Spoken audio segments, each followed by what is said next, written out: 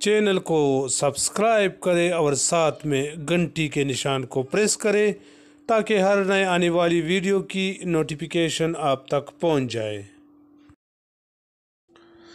TikTok बंद करने का हुक्म। जिस तरह की वीडियो अपलोड हो रहे हैं, वो माशरे के लिए काबिल कबूल नहीं, Peshawar high court. TikTok video से माशरे में पहाशी फैल रही है। सबसे ज़्यादा नौजवान मुतासर हो रहे हैं। जिस तरह की रिपोर्ट्स मिली है, वो इंतहाई अफसोसनाक है। जब तक कंपनी गैर अखलाकी मवाद रोकने के लिए पी टी ए से ताउन नहीं करती, उस वक्त तक टिकटॉक को बंद रखा जाएगा।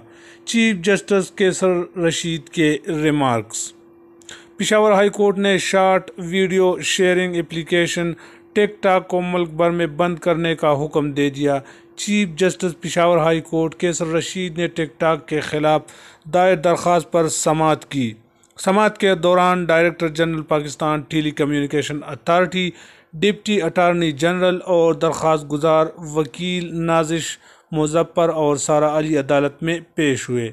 Chief justice Peshawar high court Qaiser Rashid Khan ने रिमार्क्स दिए कि टिकटॉक पर जो वीडियोस अपलोड होती है, वो हमारे माशरे के लिए काबिल कबूल नहीं है।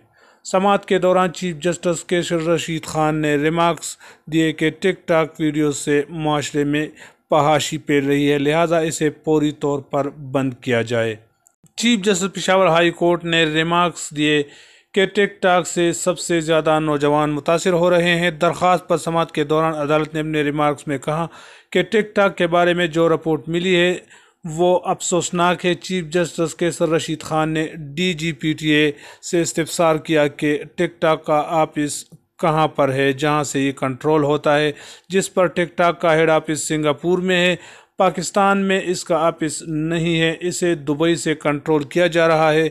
इस पर chief justice Peshawar high court ने D G P T S से इस्तफसार किया कि क्या टिकटॉक ऐप को बंद करने से कंपनी को नुकसान होगा, जिस पर director general Pakistan telecommunication authority ने जवाब दिया कि जी, इनको नुकसान होगा।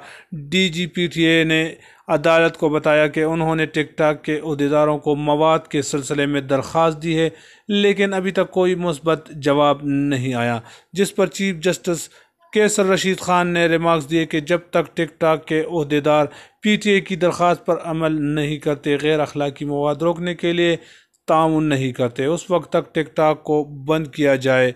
बाद अजा पिशावर हाई कोर्ट ने D G P T A को टिकटॉक ऐप को 11 मार्च से बंद करने का हुक्म दे दिया। ख्याल रहे कि पाकिस्तान टेली कम्युनिकेशन अथॉरिटी ने गुज्त बरस 9 अक्टूबर को पहश मवाद को न हटाए जाने पर टिकटॉक को मुल्क भर में बंद कर दिया था। अलावा अजी टिकटॉक को बंद करने के हवाले से लाहौर हाई कोर्ट में आम शहरी की जानब से दरख्वास्त भी दायर की गई थी। जुलाई में दायर की दायर की गई दरख्वास्त में कहा गया था कि मुल्क में इस एप्लीकेशन के इस्तेमाल करने वाले दस से जायद अमवात की भी तस्दीक हो चुकी है। मज़ीद बरा ये भी कहा गया था कि ये video sharing application social media पर रेटिंग और शहरत के लिए पुरोनोग्राफी फैलाने का ज़रिया भी बन रही है।